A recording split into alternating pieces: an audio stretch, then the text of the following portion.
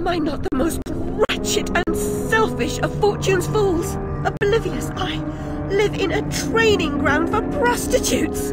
My mentor is an abuser and purveyor. I've been complicit with my sister's murderer and the killer of my family as he corrupted my mind. I sought relief from my pain and you turned me away from the truth.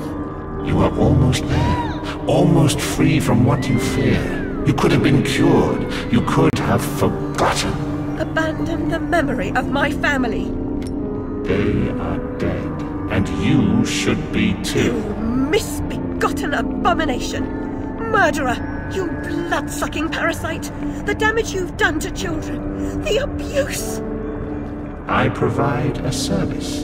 In the great and awful metropolis, appetites of all sorts must be gratified. My family! My mind! The infernal train! The train is your invention, your defense.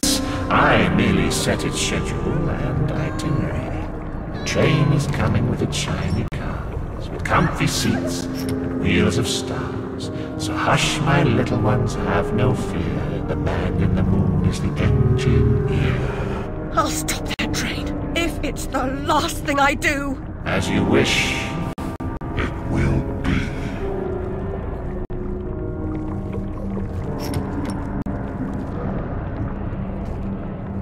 You're lost, and where your body is, your mind will follow. Perhaps it's already there.